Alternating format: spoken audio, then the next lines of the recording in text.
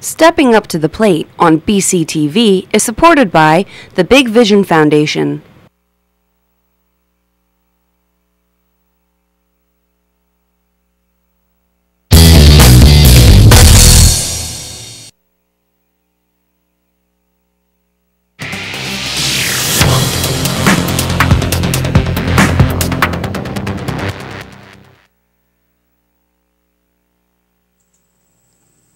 Stepping Up to the Plate on BCTV is presented by Smoker and Company and One Source Business Solutions.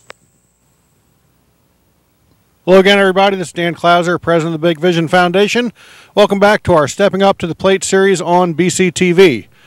Month of May here is an exciting month for us out here at Big Vision Foundation. Uh, first highlights we're going to show you are highlights of our John Paul II Day, which we do out here at the complex twice a year, where we bring the kids out from the John Paul II Center and uh, just have them, you know, come out and have a fun day of uh, baseball. We announce their names, let them run around the bases, uh, give them lunch, and just have a really good time. So that'll be the first feature, and then uh, second feature on the show will be uh, another annual event that we just absolutely love doing out here. And you can see behind me, we got Dream and Believe up on the scoreboard, and that's the motto of our special guest this past weekend, Jennie Finch, former Olympic gold medalist was out here running one of her world renowned Jennie Finch softball camps at the complex. So you'll see some highlights of that, as well as our unique pretzel, um, Pretzel City Classic that was this weekend as well. So we had a softball camp with over 100 girls, had a uh, baseball tournament going on as well, and uh, place was just popping all weekend long. So um, after we show you the highlights of that, we'll, uh, you'll see an interview with myself and Jennie, um, as well as her two assistant coaches that were out here, um, Toni Mascarenas and Crystl Bustos, who's the uh, home run record holder for the Olympic Games for Team USA. Um, so, pretty exciting show we got lined up. Enjoy it and uh, have a great month.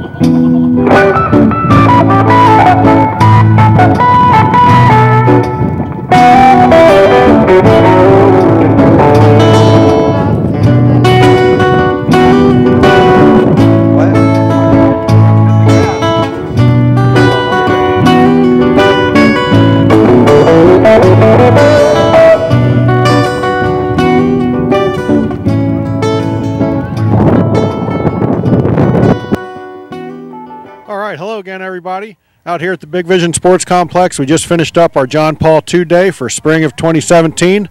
joined with Kelsey Adams and Missy Lamb, our two softball coaches who volunteered out here today with the uh, John Paul II Day. This is their first time helping this event. Kelsey, what'd you think of uh, being out here helping these kids today? It was really great to see all their enthusiasm out in the field. They, they just wanted to play baseball, whether they were up to bat or just throwing the ball to Missy or I. It was it was awesome. All right, now that that's the beauty of this, and you know, our organization isn't just about competitive sports. It's really about getting out here in the community and doing stuff like this, announcing their names, and uh, making them feel like big leaguers. Uh, Missy sang the national anthem for us, and uh, you know, again, your first experience. You took a day off work. What'd you think about coming out here and spending the day with these guys? Honestly, it would just kind of brought you back to what the game's really about, uh, just having fun. Uh, you get really caught up in you know wins and losses and errors and you know striking out whatever but at the end of the day it's just having fun and those kids really showed it and they did they had a lot of fun out here and made me had a lot of fun so it was a good time Yeah, a lot of times we do this event, we're really helping, you know, we come in thinking we're helping those kids, but I think at the end of the day, they really end up helping us and brighten our days as well. So, I want to thank both you guys for joining us. And uh, again, love the fact that you guys want to come out and get involved um, in stuff outside of just coaching softball. That's what the organization's all about. So, uh, looking forward to doing more stuff with you too. And thanks again for coming out and helping us today. Thank you, Dan. led the nation in home runs for senior year at Arizona and infielder Tony Reynas. Now, from Canyon Country, California, All-American and at Palm Beach Community College. Pro fast pitch. act-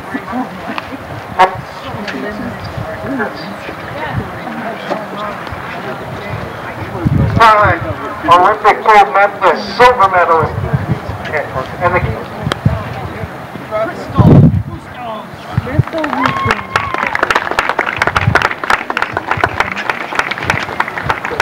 from La Mirada, California, member of the 2001 National Championship World Series, three-time All-American, two-time Honda Player of the Year, award winner, member of the National Pro Fast Pitch Team, the Chicago Bandits since 2005. She was Pitcher of the Year in 2005, three-time World Championship gold medalist, three-time Pan Am gold medalist, three-time World Cup champion, USA Softball Player of the Year in 2009, the 2004 Olympic gold medalist, and 2008 Olympic silver medalist, proud mother of three, East, Diesel, and Paisley, pitcher and first baseman, my friend,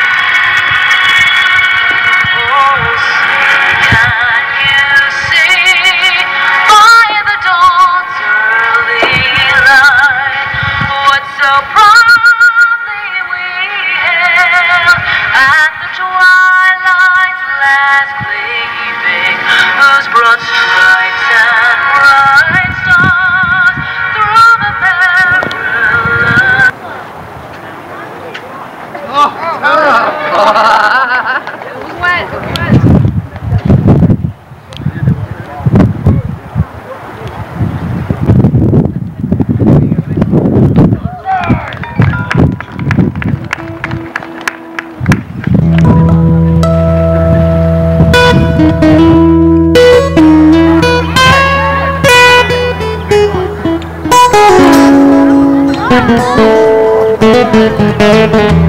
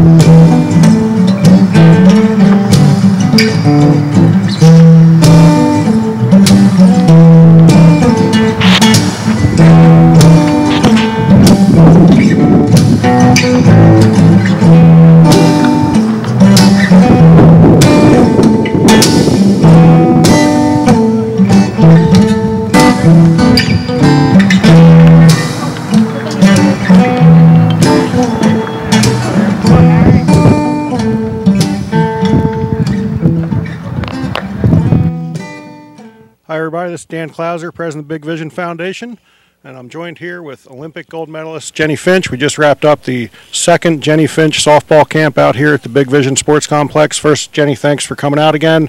Uh, thanks for doing what you do. Thanks for joining me for a couple minutes to do a quick interview here. Um, want to ask you, I mean, first of all, you know, you do these camps all over the country. Um, what what was it that inspired you to want to get out and start teaching these girls about the game? You know, it, it's my passion, it's my love, and the game has given me so much opportunity and has taught me life lessons that I hold near and dear to me today, and helped build and shape and create who I am. And um, so it's it's truly an honor and a gift to be able to get on the playing field and share share this game with others, and hopefully inspire them on their journey, and just hopefully to be able to relate and just be a little boost of encouragement and help grow their love for the game. It's uh, it's awesome how you you take the game and relate it to real life skills, which is something that our organization believes in quite a bit. And you hear, you know, parents walking around during the camp that you know we're over here listening to you give your talk, and uh, you know just talking about how inspired they were as well. Um, you know, so what what are some of the biggest life lessons that you learned through the game of softball? Ooh, where do I begin? um, so many. I think, I think just the mental side, and you know how we can't let that doubting voice take over. And ultimately, you know, instantly we want to go to the negative side, but it's like, no, we got to cling to the positive, find the good. If you're looking for the good, you'll be able to find it, but you got to have the mindset of looking for the good. And, you know, learning from your past, we all make mistakes, we all force, fall short, and you learn from it, but you got to use that as motivation. So um, that's your fuel to your fire. You know, this game's going to cause you a lot of frustration, life's going to cause you a lot of frustration, but it's like control what you can control.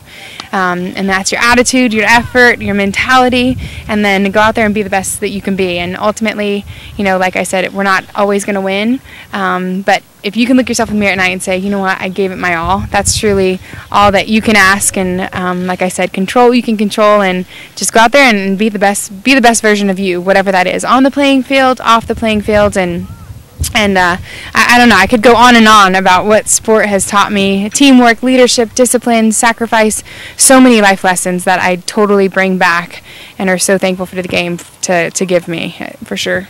Excellent. So like i said at the beginning this is the second year you've come out and done a, a camp here. Um, you know and we, we love this event. We love doing this event. We're looking forward to doing more. Um, you know what were some of the things that made you guys want to come back to our complex well, Dan, you're an awesome host. Um, you know, you feel right at home, and just what a beautiful facility. There, this country is gorgeous out here in Pennsylvania. Um, just the rolling hills and the fields, it's bar none. Just a beautiful, beautiful complex, and you know, we're blessed to be able to bring the softballers and their families out here. We had 10 states represented here this weekend, and um, we couldn't have been more thankful for just a great place to perform and to be able to get on the field and share our love and passion for the game. And we're so thankful for the Big Vision Foundation and the complex here for opening their, their doors to us and allowing us to come here for two years in a row. Absolutely, and hopefully uh, many more years to come for sure. Um, and just to kind of, you know, our facility, and we put a lot of work into this. We love bringing events like this in. Um, how does our facility rank to some of the other places? I mean, you go literally all over the world and see places. I mean, how does our facility rank to some of these other places you go to? It's right up there with the best of the best. It's immaculate uh, from the playing field to you know the concession stand. I love food, so that's the way to get to my heart. But um, all of the above, and just the view and the landscape. I don't know if you can compete with this. It is just gorgeous. Everywhere you look, 360 degrees around, it's just rolling hills, gorgeous greenery. Um, such a beautiful, beautiful complex. I hope these kids know, you know, how blessed and how lucky and how special it is to be able to come out here and play on a, a field like this. Absolutely. We like I said, it, it's a labor of love for us. So, uh, you know, you see these girls and the smiles on their faces that are walking out. It makes it all all worthwhile. Um, before we close up here, just one little last thing. You know, tell me about how much faith, you know, plays a part in what you do both through the camp. You had a Bible study this morning, um, and why is that so important to you personally? I'm so thankful for the game of softball and for God kind of giving me this platform to use it to share about Him and to share um, and give it all to Him. You know, He gets the glory for sure, and it's been my foundation since you know day one, growing up in a Christian home, and just you know keeping things in perspective too. This is a big part of who we are, and baseball and softball they're they're amazing games, but you know ultimately it is still a game, and we got to keep it that. And I'm so thankful for just God being able to uh, relate and be able to hopefully just kind of transpire, transcend through me, um, being able to share the game and those gifts, and hopefully He shines through everything that I do on the playing field and off the playing field, and um, how those life lessons kind of correlate to, and how we can always go back to, you know, even just the golden rule and, and beyond about relating the game to to um, the, my faith and and um, the love of God and the love of Jesus and His redemption. Absolutely. Plant seeds, I think Lori put it last year. Absolutely, yes.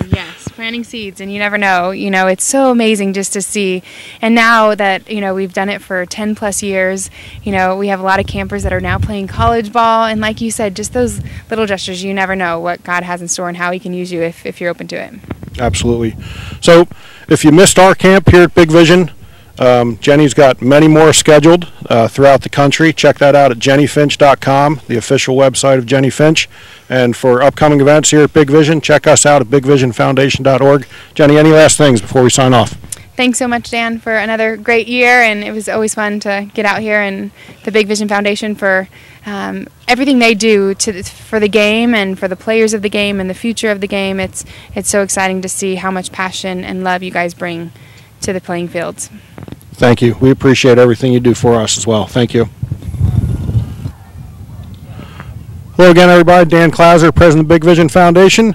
Just uh, talked to Jennie Finch a little while ago. We were finishing up our second Jennie Finch softball camp out here. Now I'm joined with Toni Mascarenas, one of Jennie's assistant coaches and best friend, sister in the game, uh, former Arizona teammate. Um, Toni, tell me why you like coming out and enjoying traveling all over the world and you know working with young girls. Um, this game's given so much to us, um, so we like to give back and you know get to. We didn't have this when we were younger, you know, getting to learn from Olympians and professional players. So we like to come back and just give what we've learned throughout our our time playing, just give back to the girls. So, like I said, you travel all over the country. Um, you're tell telling me about some of the great flights that Jennie books you on to come to these places, but uh, and we love having you guys out here. I think this is a great event. Um, so, from all the other facilities that you've been to, how does our facility rank to, uh, compared to some of those others?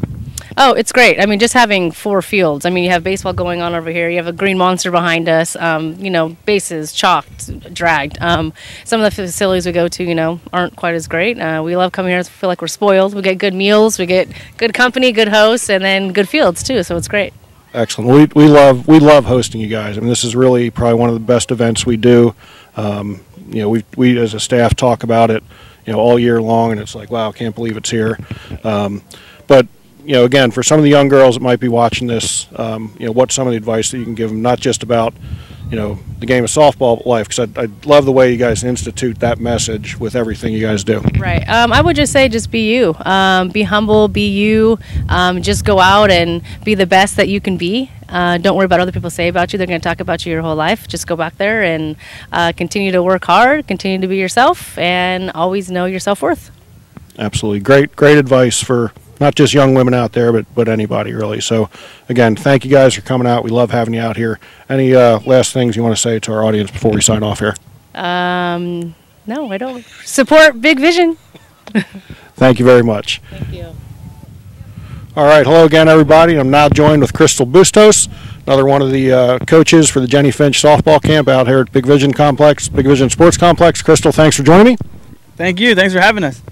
So, Crystl is a three time Olympian, two gold medals and a silver, uh, 2000, 2004 gold medals, 2008 uh, silver medal. First of all, um, all-time Olympic home run record holder.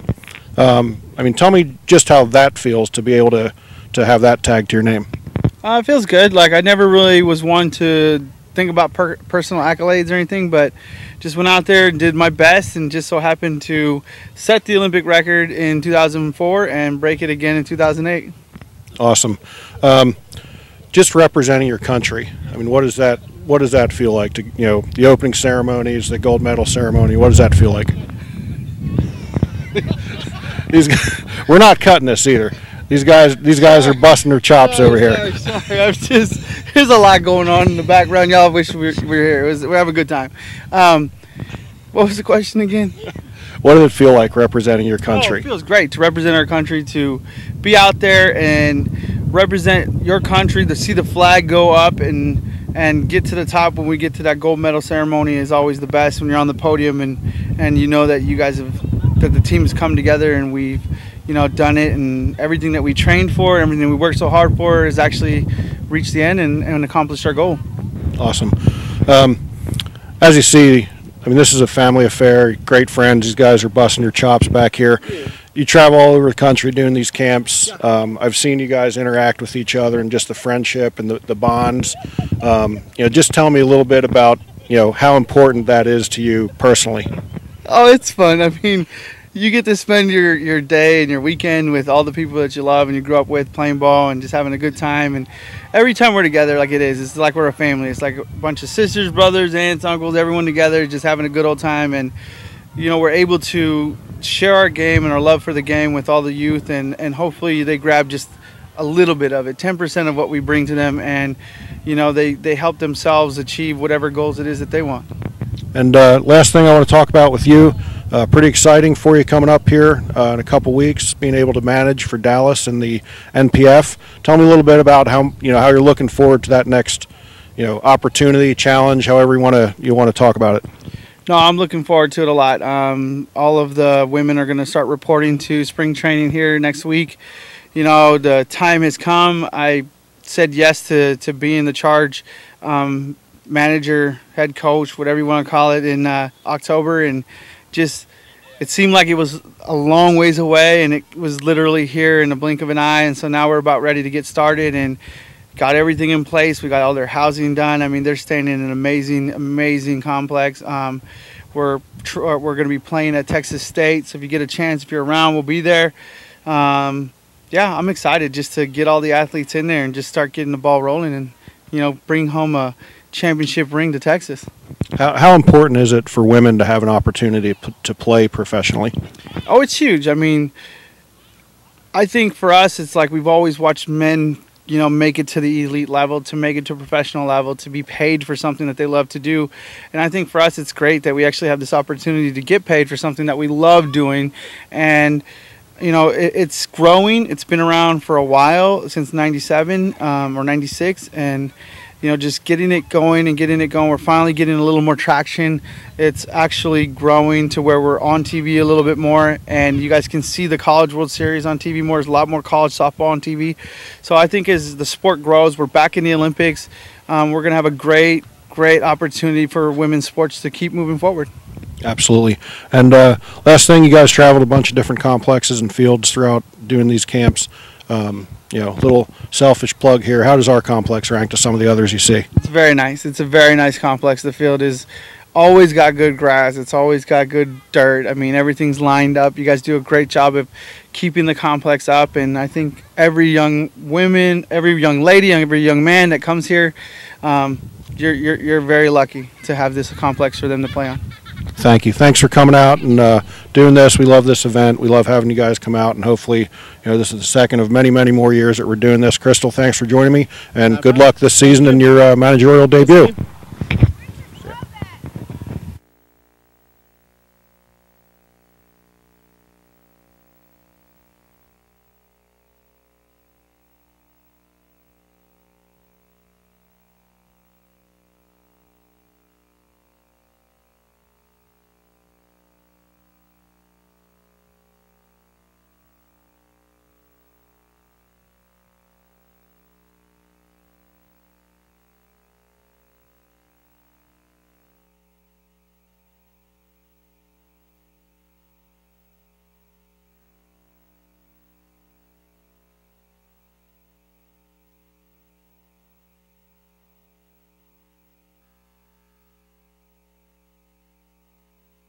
Stepping Up to the Plate on BCTV is supported by the Big Vision Foundation.